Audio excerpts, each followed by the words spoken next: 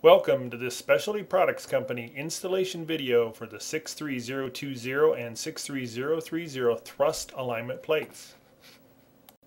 Our patented thrust alignment plate will allow for correction of setback and thrust angle on most vehicles with rear leaf spring suspensions only.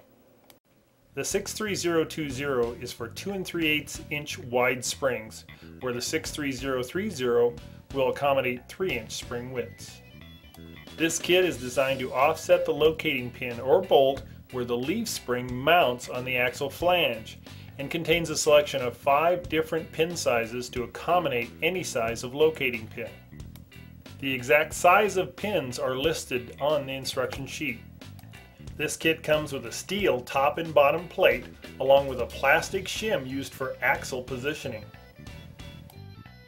Only one thrust plate is needed and may be installed on either leaf spring. It will either slightly raise or lower the vehicle depending on which side of the axle the leaf springs are mounted. Determine which side by doing a quick measurement of the ride height from side to side. On this vehicle, the leaf spring is on top of the axle so the plate will lift the body by no more than one half inch. Start by raising the vehicle by the frame and supporting it properly. Now remove the U-bolts and plate holding the leaf spring to the axle.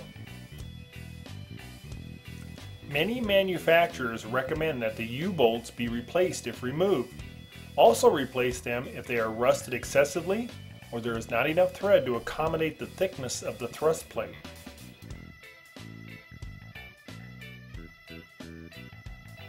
Now remove at least one shock absorber from the axle end only. Raise or lower the body to separate the spring from the axle so there is a gap of approximately 2 inches.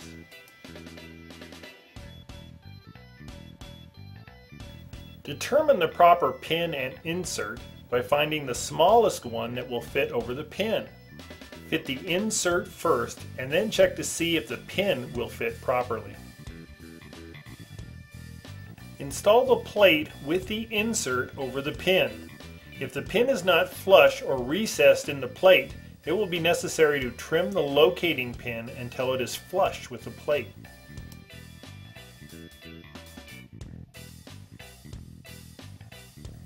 Trim the spring locating pin with a grinder so it is flush with the plate and insert. Improper locking of the two plates may result if the pin is protruding.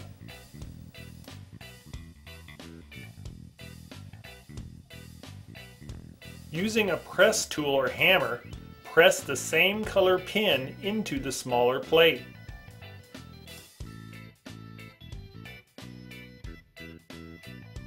Now install the kit with the plastic shim between the two plates.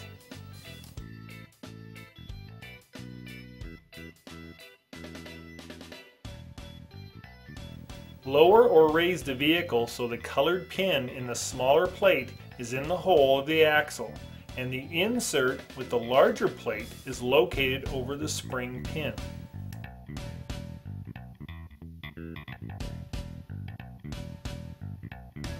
Now install the U-bolts and mounting plate loosely.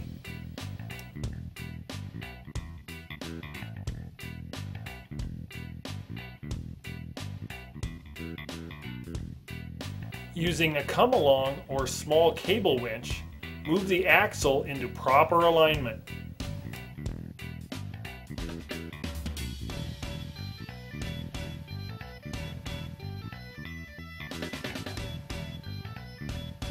Watch the readings on the alignment equipment to determine when the thrust angle is correct.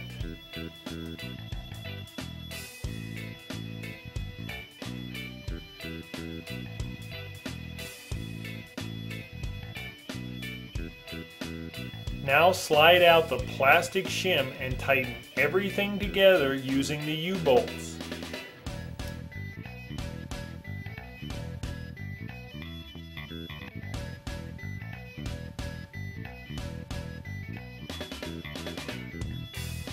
Make sure the smaller plate seats completely in the larger plate.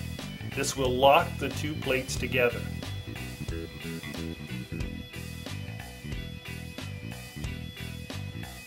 An alternate method of lining up the plates correctly is to mark the location of the two plates, then remove them and press them together using a vise.